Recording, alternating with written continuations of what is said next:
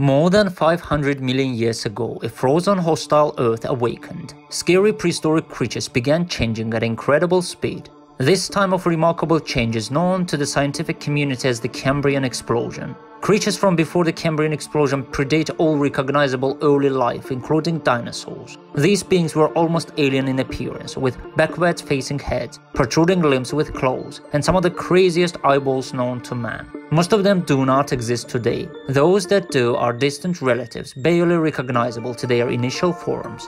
Here is a look at some of the most terrifying and intriguing beings from before this mystifying time period.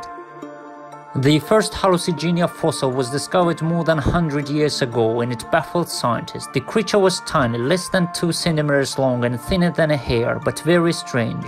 Hallucigenia was a Cambrian worm with an elongated spiky body, legs and needle-sized teeth that protruded past the jawline and went all the way down its throat. Its fossil sports a devilish grin that helped scientists to identify its head from its tail. Research suggests that this baffling creature sucked food up into its toothy O-shaped mouth like a vacuum cleaner. Despite its unusual appearance, it shares ties with modern-day spiders and Siloneuralia worms. Scientists say hallucigenia is helping them to learn more about the Cambrian period, a time when life exploded into a rich array of forms, and how it then settled back into the more normal-looking creatures we see today. Perhaps the best word to describe Opabinia is bizarre. With five eyes, a forward-facing proboscis a third of the length of the body, and a mouth that is not only on the underside of the body but faces backward, and you end up with a creature like no other we know of today.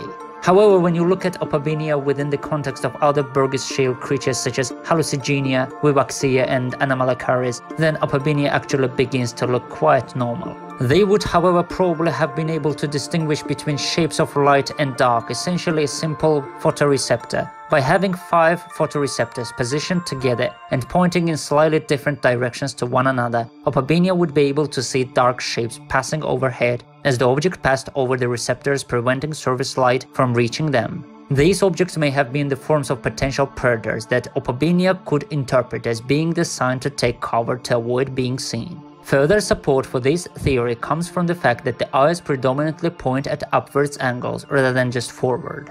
Opabinia was a soft-bodied animal of modest size, and its segmented body had lobes along the sides and a fan-shaped tail. When the first thorough examination of Opabinia in 1975 revealed its unusual features, it was thought to be unrelated to any known phylum, although possibly related to a hypothetical ancestor of arthropods and of annelid worms. In the 1970s, there was an ongoing debate about whether multicelled animals appeared suddenly during the early Cambrian in an event called the Cambrian explosion or had arisen earlier but without living fossils.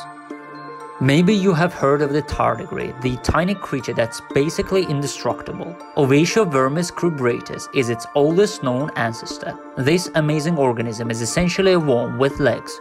More than 500 million years ago, it swayed and danced to gather food while standing firmly on the ocean's floor. The researchers believe that strong recurved claws on the back limbs may have allowed Ovatiovermis and other related Lobopodian species to anchor themselves on hard surfaces and stand more or less upright. Two long pairs of spinous limbs towards the front of the body would then have been used to filter or collect food from water and bring it closer to the animal's mouth. Even though Lobopodians have long been known and studied and occupy an intriguing position in the tree of life of invertebrate animals, their ecology had remained poorly understood.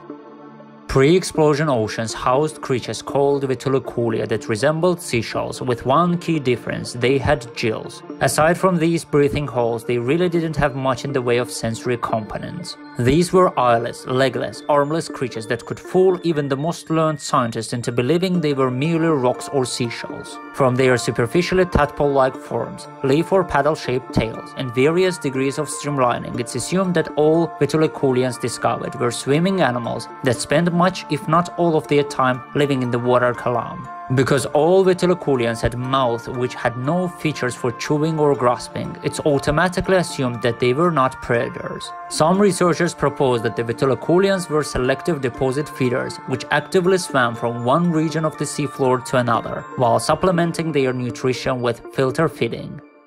What could be scarier than gazing into the mirror of time and seeing a snake-like version of man? That's exactly what Pikaia gracilens is. This flat spiraling sea creature was previously mistaken for a worm, but it's actually the earliest vertebrate found in history. That makes it an ancestor of humans and other vertebrates. Pikaia gracilens is an extinct primitive chordate animal known from the Middle Cambrian Burgess Shale of British Columbia. Pikaia was a primitive chordate that lacked a well-defined head and averaged about 1.5 inches 38 millimeters in length.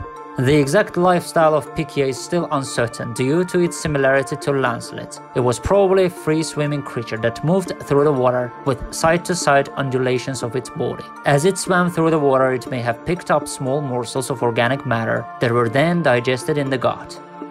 Modern oceans are filled with animals of all shapes, colors and textures. That idea had to start somewhere, and maybe it did with Wiwaxia, a prime example of an unusual Precambrian explosion creature. This clever organism was disguised to look like a plant and rested on the ocean's floor. When endangered scientists theorized that Wiwaxia could stab would-be predators with its spikes. Wiwaxia was originally described in 1899 from an isolated spine that had been found earlier in the Ogygopsis Shale. Further specimens were found by American paleontologist Charles Doolittle Walcott in 1911 as a result of one of his field trips to the nearby Burgess Shale in the Canadian Rocky Mountains. Wiwaxia was bilaterally symmetrical, viewed from the top of the body was elliptical with no distinct head or tail, and from the front or rear it was almost rectangular. It reached 5 centimeters 2 inches in length. Estimating their height is difficult because specimens were compressed after death. A typical specimen may have been 1 centimeter 0.39 inches high, excluding the spines on their backs.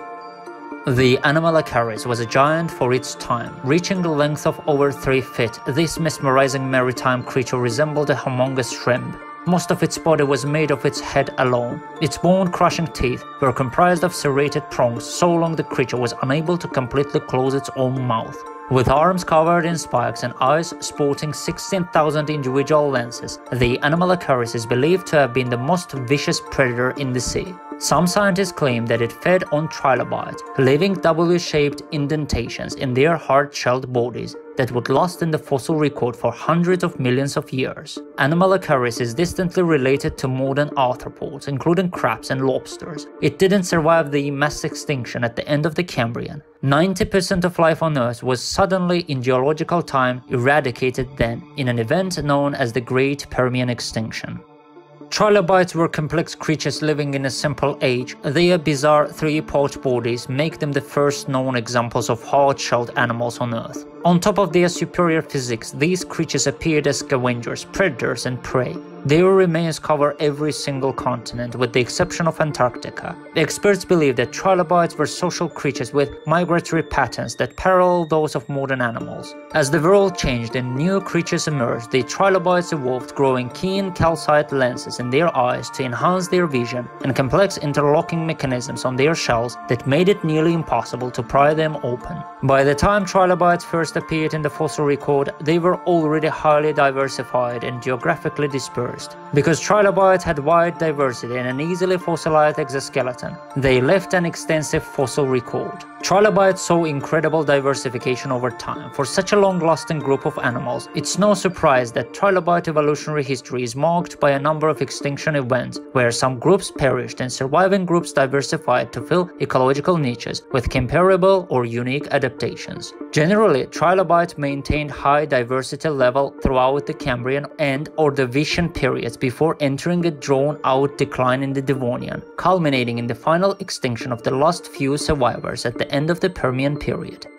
You can't discuss Precambrian animals without paying tribute to the Fuxianhuid. This ancient variation of an arthropod had quite a unique look. It had limbs that protruded from the bottom of its head, used to filter and then shovel food into its mouth in a process known as detritus swift feeding. And something even crazier was found extended out past its head, its nervous system. This phenomenon is called a postcephalic nervous system, and Fuxianhuid is the oldest known creature on the planet to possess that peculiar trait. Over the course of evolution, certain segments of the animal's body became specialized for certain things while others became less important, and correspondingly, certain parts of the vascular system became less elaborate. In addition to the exquisitely preserved heart and blood vessels, the Fuxian Fuxianhuia protensa fossil also features the eyes, antenna, and external morphology of the animal. It looked more like the worm on an angler's hook that any living fish we might recognize today, but it still takes the record for the oldest known fish to date. The 580 million year old fish Metaspriggina walcotti was about 2 inches long, bore a pair of large protruding eyes and small paired nasal capsules. It breathed through seven pairs of external gills. It had a stout rod supporting its spine, enabling strong W shaped muscle bands to develop along its entire body. Its ability to swim fast was no doubt a key factor in its success while living in precarious seas inhabited by huge predators such as Anomalocaris.